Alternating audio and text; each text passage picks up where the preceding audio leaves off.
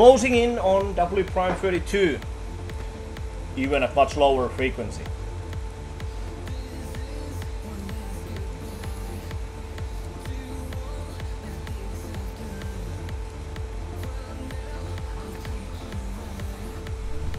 So I managed to get the W prime 32 top score once and now I'm trying it again as I hang right after the test and I got it again.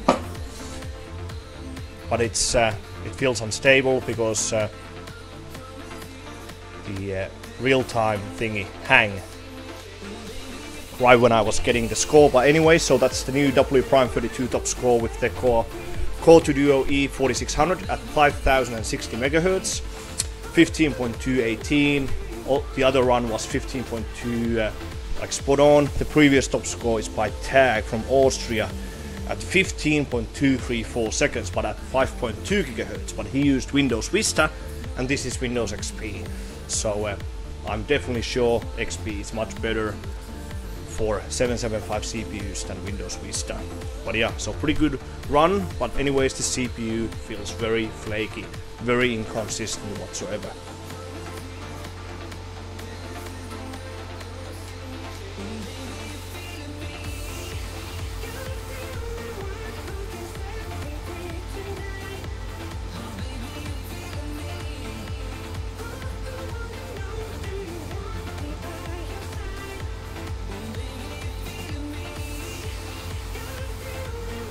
Okay, so that's the W Prime 1024M top score with the uh, Core 2 Duo E4600. For some reason the efficiency wasn't good, so uh, for some reason either of the cores was, uh, was really slow. But anyway, so that's 504.172. The previous top score by Tagg was at 505.221 at 5050 megahertz on the CPU and I ran the CPU at 5005. So yeah, so this has been a very hard session with the CPU because this CPU has very weird behavior. No matter if I use uh, a multiplier of 11 or 12, the end result is usually the same. After uh, some clock speed, the CPU becomes very flaky. It could be idle of the cores, but I don't know.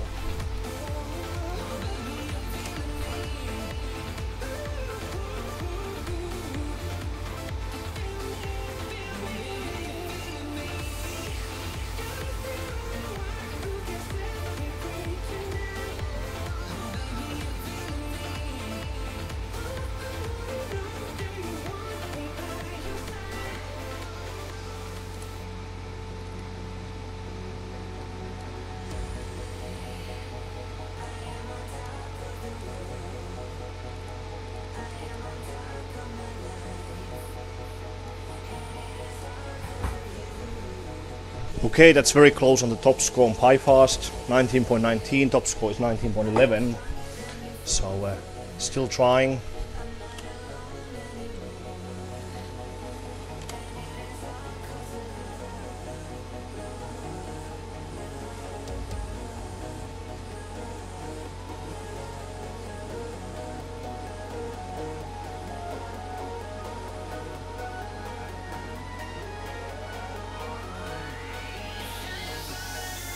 Yes.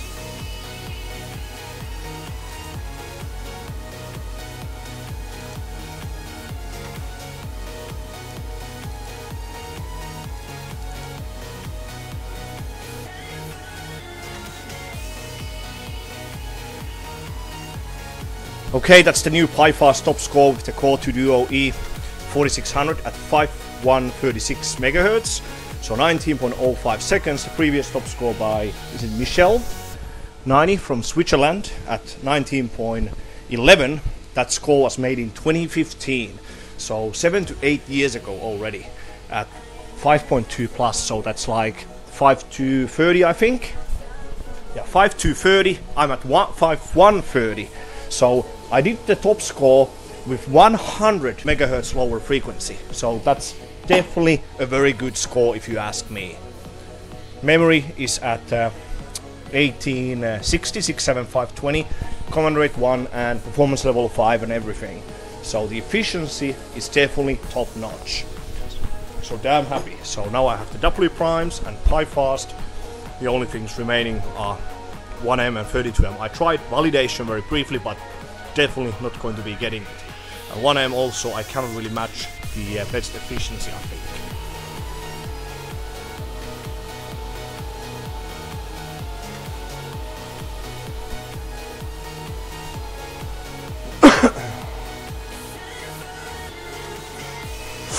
okay. That's the new top score.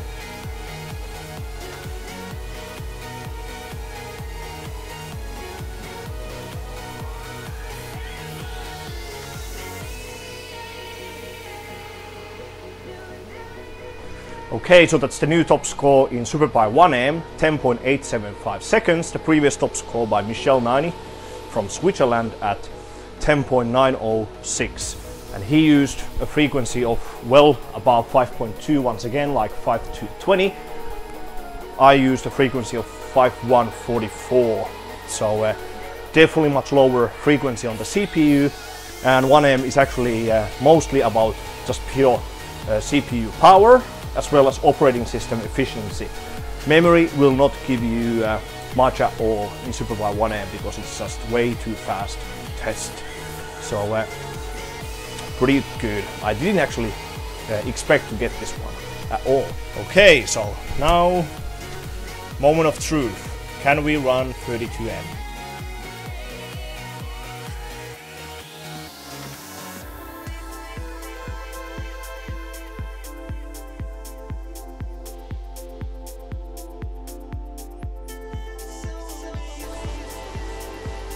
Okay, that's roughly 10 second improvement over the previous top score made by Tagg and roughly same everything. Almost the same frequencies, so uh, he used a CPU frequency of 5060. This one over here is at 5065. Memory, same frequency, same timings. I think same motherboard. So uh, his run was 9 minutes and 49 seconds, spot on, and this one is 9 minutes 39.406 uh, seconds. Just one very quick run to get the top score, and that's it. So I definitely can push this even higher if I wanted to. Yeah, damn awesome. So now I have everything else but the highest CPU-Z validation. So let's do it. 4 a 1, 11, even relatively good memories. So this will be high.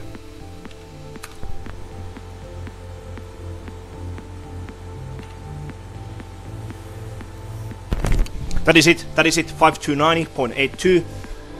Let's hope we got it. I think we got it.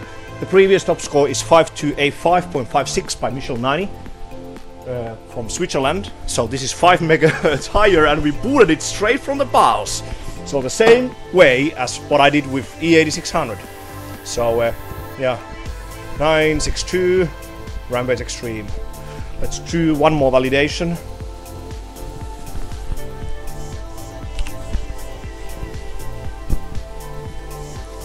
It might have crashed though, but I think it's it should be yeah 5290. It's over here. Just hoping it's uh, not corrupted whatsoever. Yeah.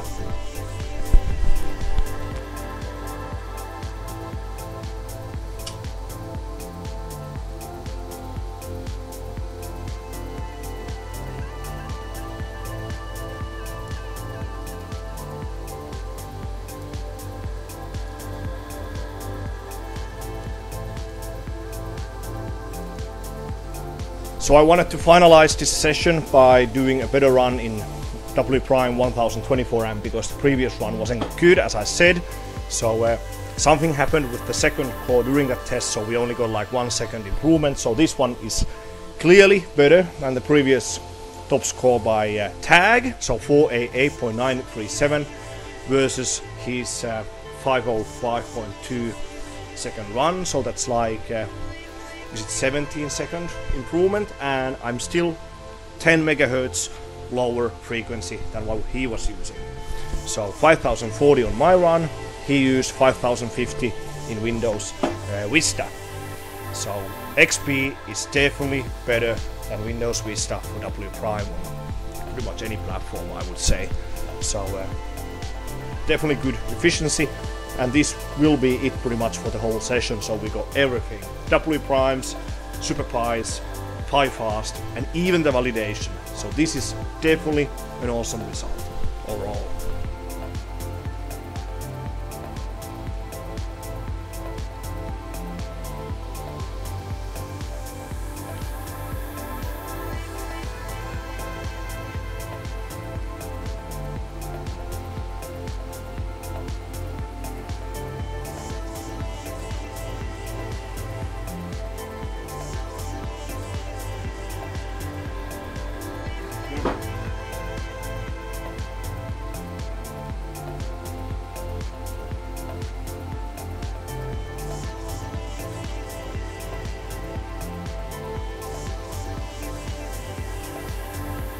Uh, uh, uh,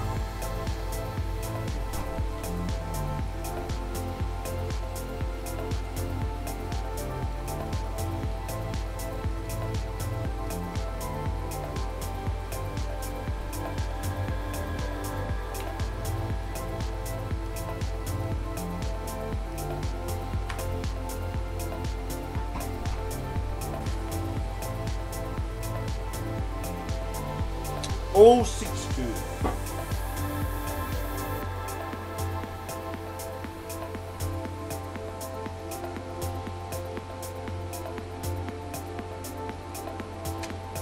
At least we saw it.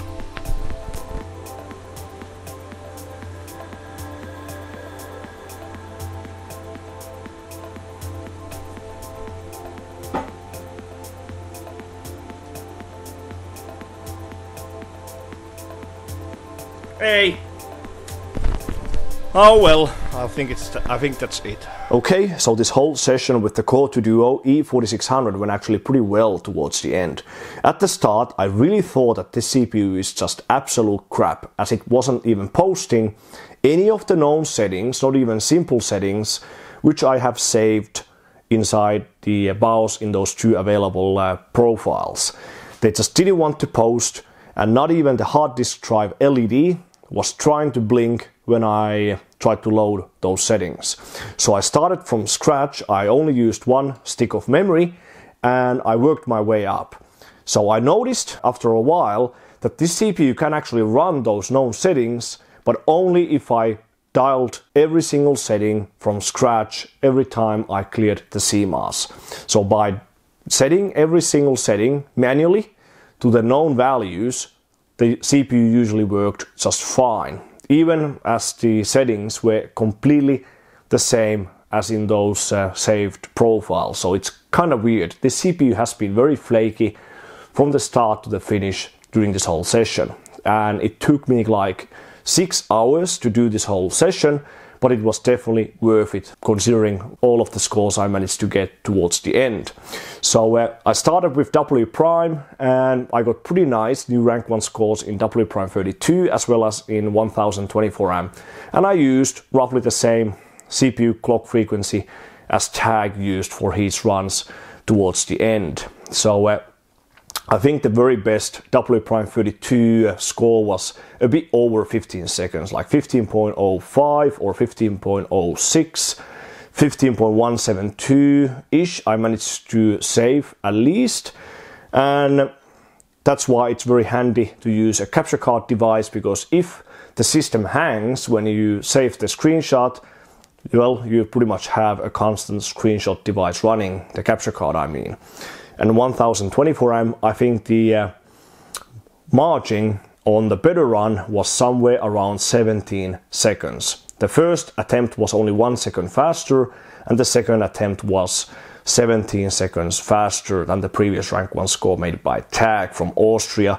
with nearly the same clock frequency. So 5050 on mine, and he used 5052 megahertz on the CPU. So definitely a large difference just from operating system if you ask me. And then in uh, Server 2003 SuperPi 32M, I think the uh, margin on my new rank 1 score over the previous rank 1 score made by Tagg from Austria is somewhere around 10 seconds if I remember correctly. So very good uh, run. I actually tried to post and boot 510 FSB to get higher memory, so well over 2000. But for some reason, the rig didn't want to post that high FSB. So I don't think you can actually run 500 plus FSB uh, values on these CPUs. So uh, yeah, so the maximum memory we can use then is somewhere between 1800 and 1900 megahertz. And then I actually didn't expect to be able to challenge the rank 1 scores in PiFast as well as in SuperPI 1M and not to even mention the uh, CPU-Z core frequency validation, yet I managed to break the rank 1 score in every single test of those three. So uh, getting these scores actually proves that my operating systems are very efficient or pretty like well performing. So uh, the margin I had already in the W primes compared to Tagg's runs in Windows Vista were huge. So it kind of shows that you it kind of shows that you should always use Windows XP for W prime instead of Windows Vista. I'm absolutely sure about that. And then Server 2003, I actually could uh, get the same end result and even a tiny bit better runs in PiFast and in 1M with almost 100 megahertz lower CPU frequency. So that's kind of enormous if you ask me. So uh, yeah, so 32M I can I can definitely do even a bit better run if I wanted to, but that will be for the next time.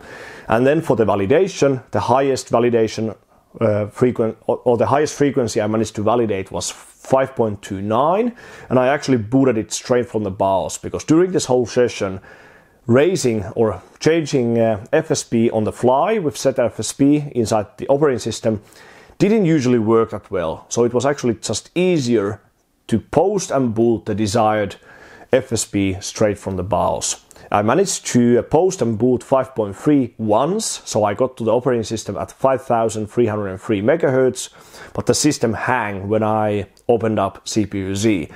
I'm absolutely sure I can do it, so it just needs some time, but it was pretty interesting. So I actually realized that the core number one is very strong on this CPU. So uh, the V-core scaling was actually pretty good up to like 2.15 volts or 2.2 on the first core and the second core didn't actually scale that high. It actually stopped already a bit above 2 volts. So uh, pretty interesting uh, result if you ask me. So uh, first CPU after a while, which I've managed to uh, break all of the important top scores with. So 5 plus 1, so all of the uh, SuperPIs, W primes, PiFast and even the validation. So the whole session was definitely worth it. All of these results will be uploaded to hardwarebot.org, so definitely check them out if you are interested in them. Give me a thumbs up and subscribe to my channel and check out my Patreon page as well if you want to join my Patreon Discord channel. But yeah, other than that, thanks for watching one of my 775 legacy overclocking content once again, and I will see you on the next one.